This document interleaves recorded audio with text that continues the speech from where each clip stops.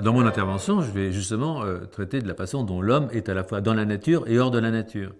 C'est-à-dire que nous avons un ancêtre commun avec les chimpanzés, il n'y a absolument aucun doute là-dessus. Il y a même des gens qui disent qu'il n'y a que 1,23% de différence euh, entre euh, le génome de l'homme et le génome de chimpanzé. D'abord, c'est faux.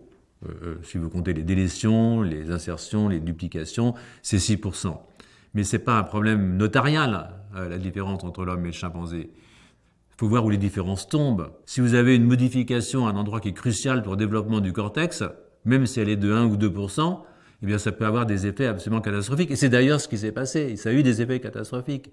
L'homme est un monstre hein, sur le plan biologique. En quelques années, son cerveau est devenu quatre fois plus gros que celui d'un singe, hein, de même poids, parce que notre poids corporel, c'est 40 kilos sec, comme celui d'un chimpanzé.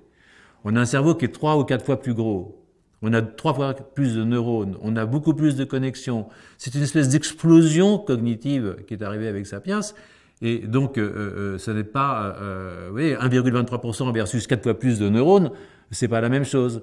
Et donc, ce que je vais expliquer, c'est que ce 1,23%, c'est effectivement un mythe. Mais c'est un mythe qui est un mythe dangereux, que c'est un mythe qui nous rapproche du singe. Alors, nous ne sommes pas des singes, nous sommes des singes, bien entendu, mais nous ne sommes pas des singes comme les autres.